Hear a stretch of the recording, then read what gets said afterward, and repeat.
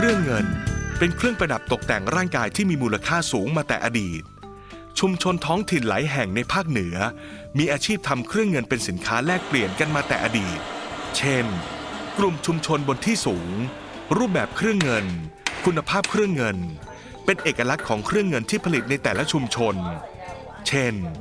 เครื่องเงินย่านถนนบัวลาย จังหวัดเชียงใหม่ เป็นเครื่องเงินแบบความนิยมของชาวไทยเขิน ที่แตกต่างจากเครื่องเงินของกลุ่มชนบนที่สูงอย่างชาวเขา ซึ่งมักใช้วัสดุเงินผสมพลวงทำให้เงินมีสีขาว เนื้อค่อนข้างแข็ง ลวดลายเครื่องประดับเป็นเรียบง่ายไม่หรูหรานัก